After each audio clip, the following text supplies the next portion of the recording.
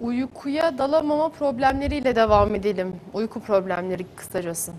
Evet, uyuyamama, uykuya dalamama gibi uyku rahatsızları, birçok uyku rahatsızları var. Bunu tetikleyen birçok faktör var. Bazı çocuklar mesela uyku anında altını ıslatır, uyanır bir daha uyuyamaz. Nasıl altını ıslatan bir çocuk bir daha uyuyabilir mi? Uyuyamaz. Veya bazıları korkulu rüyalar görür. Rüyayı gördükten sonra rüya ile gerçek ayağa kalktığı zaman, uyandığı zaman bir daha uyuyamaz. Mesela uyuyamayan insanlar e, sarı kantoron kullanırsa kötü rüya görenler veya Ayku Plus kötü rüya görmezler. Güzel rüyalar görürler. Rüyaları dahi etkiler. Çünkü beyindeki asit baz dengelerini düzenleyici, hormonları düzenleyici özelliğe sahip. Bazıları da uyurken böyle huzursuz bacak sendromu denen bir rahatsızlık vardır. İkide bir ayaklarını tak tak atar, aha, acı verir, ağrı verir veya bilmeden ayağını başka bir yere çarpar, uyanır, uyuyamaz. Bazı insanlarda böyle bir uyku rahatsızlığı var. Araba sürerken aniden uyur adam. Yolda, otobanda uyur, çalıştığı iş yerinde uyur, yemek yerken uyur. Bu tür uyku rahatsızlıkları da var. Aşırı uyuma hastalığı da var. Uykuya dalamama problemin olarak bakarsak. Evet, oraya da geliriz. Uyuyama, yani uyuyamamanın birçok faktör. Yani aşırı yorgundur, halsiz, dermansız, bitmiştir. Uyumak ister, uyuyamaz. Bazıları da gerilir, stres, üzüntü, sıkıntı, bunalım. Düşüne, düşüne, düşüne artık bir şey kafaya takar, uyuyamaz. Ben de bir ara çok bir şeyi kafaya takmıştım. Çeçenistan'a gidip savaşayım diyordum. Oradaki insanlar Ruslar öldürüyor, bomba, bomba duman yapıyorlardı, öldürüyorlardı. Fakat e, gittim kayıt oldum bir derneğe. Dedim ki ben Çeçenistan'a gideceğim. Rusça biliyor bilmiyor. O zaman ne yapacaksın? Hemen öldürürsün dediler. Gidemedik. Şimdi e, bunu düşünmekten dolayı Çeçenistan'a uyuyamıyordum. Ne yaptım? Meditasyon yaptım. Ama meditasyon yapamıyorsan ne yapabilirsin? Meditasyon yapmak da biraz e, zaman isteyen bir iş. Bir, biraz öğretilmesi gereken. Peki biraz kısaca bahsedecek gereken. olursak meditasyona da yani çok kısa bir şekilde. Ha iyi güzel olur. Meditasyondan bahsedelim de bu kişi bunu anlaması ve tatbik etmesi gerekir. Her gün tak, tatbik ederse beyin de o konuyla ilgili aynı bilgisayar gibidir düşünenin beyni. Dosyalar açılır ve ne kadar bir kişi bir konuyu tekrar ederse beyinde o konu o kadar yer eder. Bu şuna benzer. Mesela birisi hafız olmak istiyor.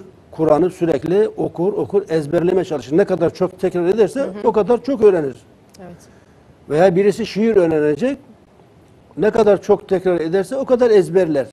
Veya biri demircidir, demir dövecek. Ne kadar çok çalışırsa o kadar başarılı olur. Yani tekrar kişiyi usta yapar. Ne kadar çok tekrar- ederse yavaş yavaş konuda ustalaşır. Meditasyon işi zor iş. Şimdi kişi diyelim ki odada yat, yatağına yattı, karanlık, loş bir oda, sırt üstü yattı. Şöyle diyecek. Alt çenem rahat, alt çenem rahat, alt üç defa. Üç defa üst çenem rahat, üst çenem rahat, alt dudağım rahat, alt dudağım, üst dudağım böyle. Sonra gözlerim rahat, kulağım rahat, burnum rahat, sırtım, omzum, belim, kalçam diye sayacak. Üç defa, üç defa, üç defa. Bunu böyle her gün tekrar ederse otomatikleşir ve o kelime, o organ söylemeden o organda kaslar tak tak tak açılır. Rahatlar. Bütün stresi atar üzerinde. İki dakikada bunu yapan kişi uyur. Ama ben bunu iki dakikada söyledim ama iki yıl ben bunun kursuna gittim. Şuradan söyledim ama iki yıl bunun kursuna gittim. Evet. Ondan sonra şimdi ben mesela uyumak istediğim zaman baktım çok gerildim, uyuyamıyorum. Rahatsızım, canım sıkılıyor bir şey. Hemen bir meditasyon yaparım. İki dakika sonra uyumuşum gitmişim. Fakat bu biraz zor bir iş, zaman isteyen bir şey. Anlatılması, öğretilmesi gereken bir iş. Çok basiti var. Çok basiti de şu. Çarkıfelek. Çarkıfelek bu bitkinin çarkıfeleğe benziyor. Mehmet Ali Erbil'in çarkıfeleğine. bu çarkıfelek 1050 çeşit çarkıfelek var. Bunlardan e, Passiflora incarnata e, şu gördüğünüz lila mı? Lila renkli olanı şifalı olandır. Diğerleri bir de Passiflora edulis.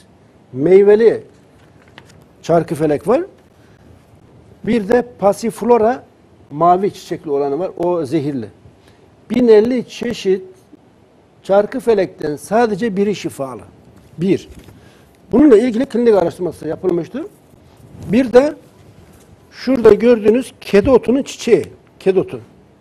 Kedi otunun ama çiçeği değil, kökü.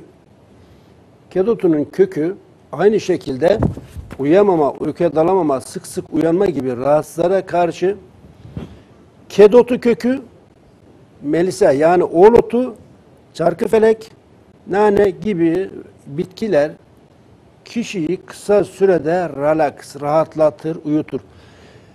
Fakat ağır vakalarda, kronikleşen durumlarda otu, kökü yeterli değildir. Ekstraktının bitkinin özütünden elde edilen çok güzel bir formül geliştirdik biz. Kedotu forte, Passiflora forte.